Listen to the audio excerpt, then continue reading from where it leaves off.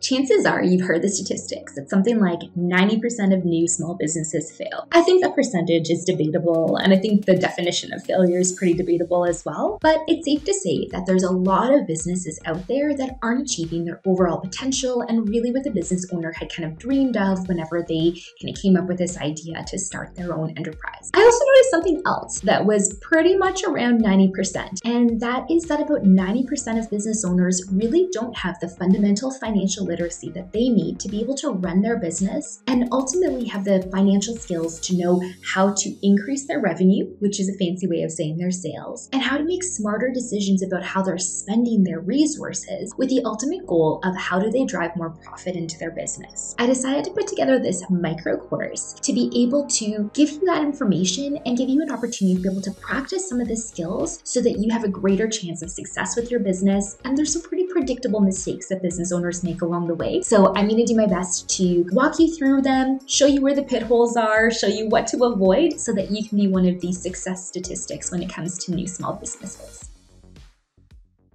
So let's start off. You've made a decision to start your business. You know, you have this dream, you kind of have this product or the service or something in mind that you're hoping to kind of put together. And chances are, when you were thinking about becoming a business owner, the first thing that came to mind was not, yay, I get to do bookkeeping. That's not really something that most of us really get excited about doing, you know, those administrative aspects of running a business. But there's a certain terminology that ends up happening that business owners are really, really missing. And that is thinking that all things finance, accounting, and bookkeeping live under the same umbrella. And they actually don't. There's very distinct sub umbrellas underneath there. So I'm going to walk you through three really important distinctions that you are going to want to have. And that's the difference between a bookkeeper, the person that does your taxes, and a CFO. When it comes to your bookkeeping, that is going to be solely focused on what happened in the past in your business. It is going to be the person that if you choose to hire a bookkeeper, and again, it's your decision to choose to hire any of those roles, you absolutely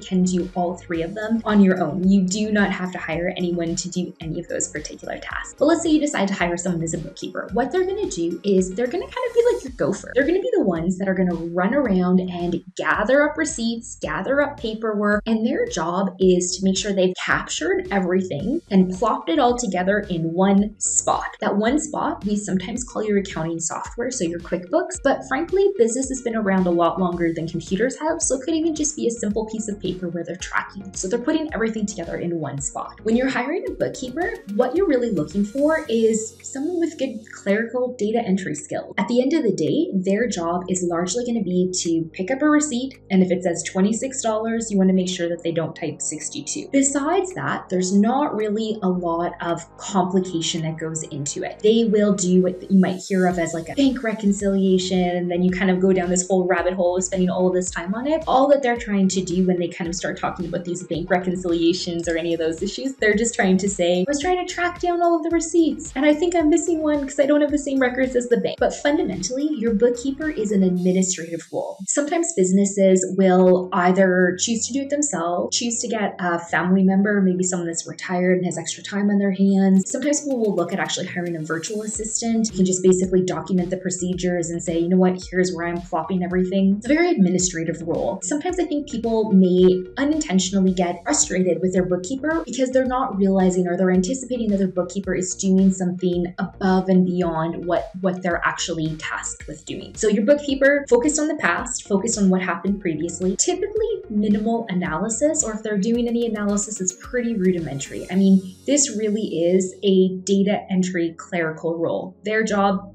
gather it up, plop it into one spot. So then how does that distinguish from say your tax account? So your tax accountant and your CFO are both typically going to be a CPA, meaning that they're a designated accountant. Whereas your bookkeeper probably won't be. You could hire someone with a CPA designation to do that, but it would be probably far too costly for you. So typically with your bookkeeping, you're trying to find low cost labor. When it comes to taxes, again, you have the option of doing your taxes yourself. There's no rule that says that you have to hire anyone to do your taxes. It in some cases is going going to make more sense for you to do them yourself. In other cases, it's going to make sense for you to find a tax specialist. So the tax person, whenever they're filling out these forms, they're filling out forms that the government requires. And what the government is going to require is to make sure that any of the money that you earned is actually the government is getting its cut on. So there's very standard forms that need to get populated. Your tax account is going to be the one that's populating those, making sure that it gets sent to the government, kind of working through a lot of that particular process. They can provide a little bit of what we call tax planning. So the distinction here is that most of what your tax accountant is doing, again, is looking at the past. They're looking at what happened before. They're not really looking at what's happening next or what's happening into the future. And when they are looking at what's happening into the future, it is strictly from the perspective of how do we help you minimize your overall taxes. The distinction now between your tax person and your CFO is if you were kind of thinking of a great ginormous table. So if you're kind of thinking of a ginormous table, the top part is going to be all of your streams of revenue coming in. The bottom part is going to be all of your different expenses. Your tax specialist is looking at one of those expenses, and that expense happens to be your tax line, and they're going to help you minimize your tax liability. Your CFO is going to look at the entire paper, top to bottom. And so your CFO is going to take a broader perspective. They will obviously care about minimizing your taxes, but they're going to be more so looking at your revenue and saying, you know, what changes can we make to your business model to be able to boost that revenue? What are some different financial strategies that we can apply to be able to increase the amount of money the company is bringing in? And where the tax person is going to really, really focus on that one tax line item, your CFO is going to look at, you know, the hundred things that you spend money on in your company, and they're going to put through kind of a, a thought process of saying, well, what is the best use of funds in order for us to maximize our profit this year, next year, five and 10 years into the future? So it's a little bit of a broader view that they're looking at. Your CFO also tends to be more looking into the future. So where your bookkeeper and your tax accountant are heavily focused on what happened before and what happened in the, fa- the past, your CFO will look at that to a certain extent to kind of determine some trends. For the most part, they're really going to be saying like,